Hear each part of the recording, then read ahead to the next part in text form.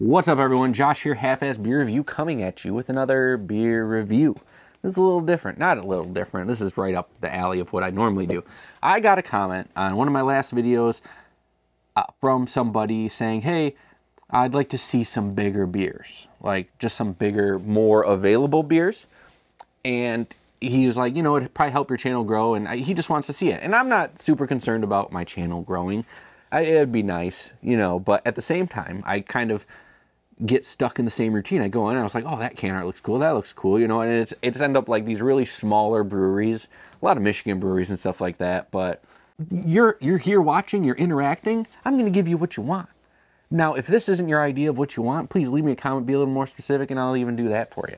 This is a bottle of Shock Top Twisted Pretzel Belgian style wheat ale brewed with spices and caramel malt and with artificial flavor added.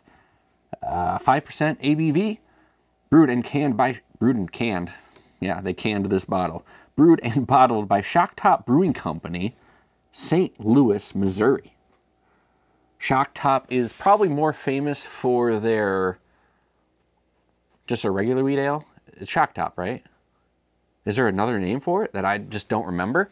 It was popular with the the, the whole blue moon thing, dirty blondes and stuff like that, the wheat beer phase, you get a little orange with it. You know, it's it's um I'm not a huge fan of Shock Top as the wheat the original wheat beer. I just didn't think it's good. There's just not a lot of flavor to it. There's more flavor in Blue Moon. I'm not huge on Blue Moon, but Blue Moon I think is a lot better than like that Shock Top wheat.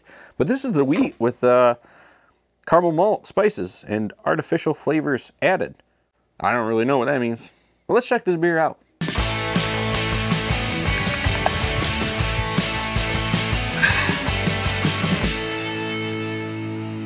All right, everyone, let's pop the top.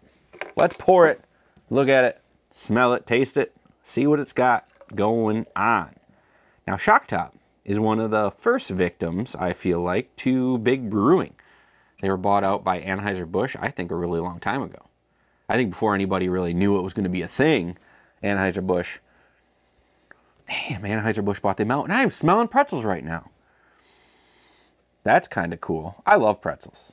I do. And pretzels, honestly, is probably like the perfect beer pairing. Like if you're just to have a snack with some beer, if you're drinking Miller Lite, if you're drinking anything light that isn't like super heavy or dark or, you know, pretzels, that, the salty pretzels go a long way with this stuff. This kind of looks like a pretzel beer, right? Like if you were to tell me there's a pretzel beer, I'd say this is what it's to look like. The only thing I might do is add like little salt pellets floating around in there, but those would dissolve. Even the head. It's just like a tinted brown of off-white. My goodness. What? This is like smelling a bag of Snyder pretzels.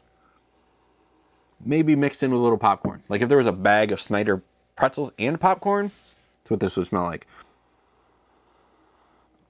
Burnt popcorn is my favorite thing. I love burning popcorn. I love burnt popcorn. Not only does it taste delicious, but no one else wants it, so you get it all for yourself.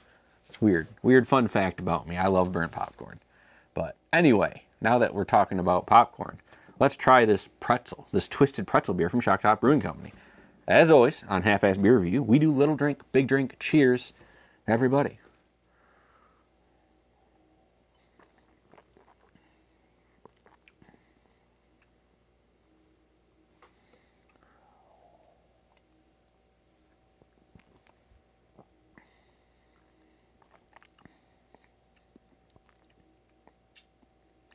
This isn't half bad.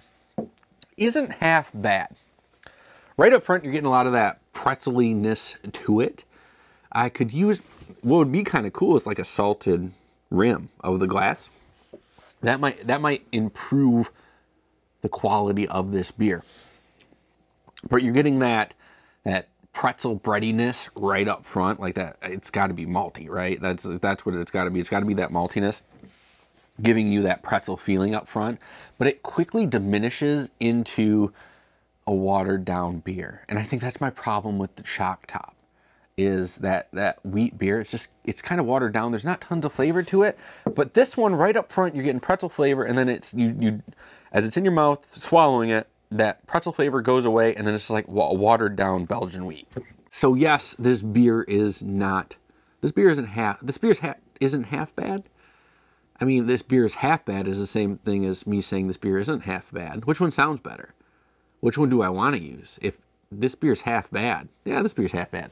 That's what I'm gonna. We're leaving it with that. This beer is half bad. Would I ever buy this beer again? No, I wouldn't. If they came out with an improved twisted pretzel, saying, "Hey, we, you know, we fixed it. There's more flavor lasting throughout the entire drink," I'd probably go for it. I'd try it again. But they're not going to do that because it's Anheuser-Busch and they just want to make money and changing it means they'd have to spend more money on it and they're not going to do that because I think Shock Top was kind of a flop for them anyway. Shock Top is like a freaking Applebee's beer. You're going to go there, and be disappointed by the food and the beer all at the same time. Screw you, Applebee's. But now that's going to do it for this episode of Half Ass Beer Review. Thank you all for stopping by and joining me for this disappointing beer. Uh, smell was great. The flavor up front was great, but after that, it just diminishes into like a watered down beer. And that's what I was expecting out of Shock Top. Shock Top, anyway. Sorry if you love Shock Top. If you do love Shock Top and you want to give me a few choice words, you can do that down in the comments after you give this video a thumbs up. Now, why would you give me a thumbs up if you didn't like my review? I really don't know, but it helps. So just just help me out. Uh, but yeah, we can start the conversation about beer down in the comments. Have you ever had this beer? Do you like this beer? How do you feel about Shock Top just in general? Let's talk about that because that's pretty interesting to me. Also, if you could be so kind, help out my friends Banter and Babble every Wednesday nights, 9 o'clock, Twitch, Facebook, YouTube. The link's down there. All your pop culture needs, movies, TV shows, video games, they talk about it all. They just got done talking about D23. And uh, there's a lot of cool things coming, a lot of shows, games, and stuff like that. So it's pretty interesting stuff. And also my friend Drastin, the Dungeon Master at Seven Dungeons, Mondays, 7 o'clock on Twitch for the best Dungeons and Dragons around.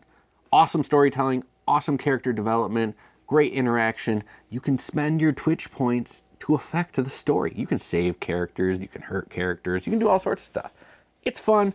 I enjoy it. I have a great time, and you will too if you just check them out. Again, the links are down there. But until next time, please keep your fridges full. Have a great night.